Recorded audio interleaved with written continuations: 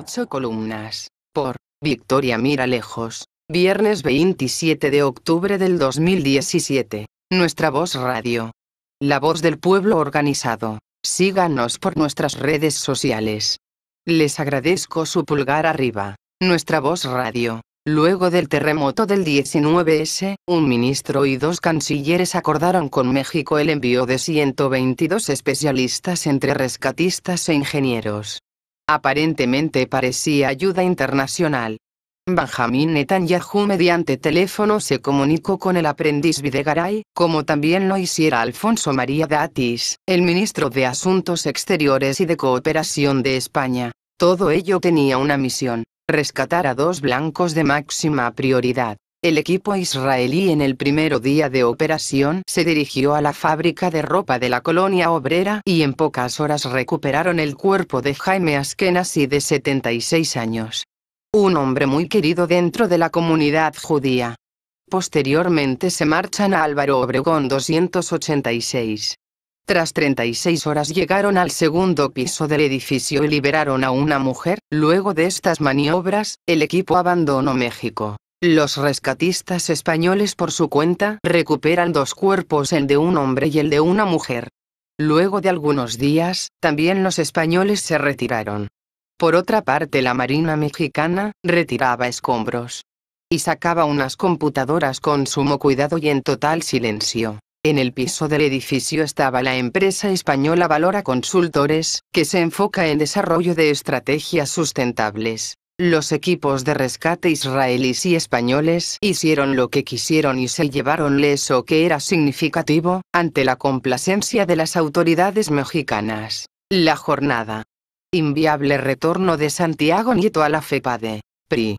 El Senado sigue empantanado en el proceso de remoción. Pesa la sospecha el fiscal por sus filtraciones. César Camacho. El tricolor no cede en que sea secreta la votación sobre su destitución. Lozoya comparece ante autoridades y se declara inocente de sobornos. Quitan al IFETEL facultades de vigilancia y sanción. Concesionarios podrán autorregularse en materia de derechos de audiencia. Azcárraga dejará en enero la presidencia de Grupo Televisa. El progreso se construye con los que arriesgan. Peña. Aprehenden por homicidio a constructor de edificio colapsado. En el inmueble de Zapata 56 en Portales. Perecieron dos mujeres el 19S. El Universal. Televisa no tiene candidato para el 2018. Emilio Azcarra Gallín. Presidente ejecutivo del Consejo de Administración del Grupo Televisa, deja dirección general quedan en el cargo de Angoitia y Gómez. Tener mayor presencia en Estados Unidos, afirma. A Palacio a la chingada, no seré líder moral, AMLO. Pese a crisis, el Senado avala ley de ingresos. Lozoya rechaza acusaciones en caso Odebrecht. Detienen al responsable de edificio que colapsó el 19S. Se trata de Jaime Smith, corresponsable de obra en Zapata 56. Lo acusan de avalar inmueble con deficiencias, él rechaza cargos. Excelsior. Azcárraga deja la dirección. Gómez y de Angotía toman el timón. Emilio Lozoya se declara inocente ante la FEPADE. El exdirector de Pemex negó los hechos de la acusación que le imputa el PRD. Su abogado dice que hay una carpeta de acusación, pero no hay un proceso judicial. Acusan anomanías en juicio de Dafne. Su hija estuvo viva casi una hora. Milenio.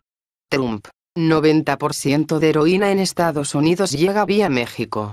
El muro tendrá un gran impacto para resolver este problema, dice. Concluye construcción de ocho prototipos.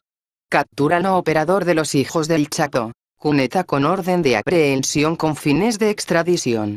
A 10 años del asesinato de su hija, solo hay un sentenciado, acusa Nelson Vargas cayó el primero por los colapsos del 19 es responsable de la red de agua de Zapata 56. En el TEC, puentes mal hechos, determina peritaje. Avalan en el Senado ley de ingresos.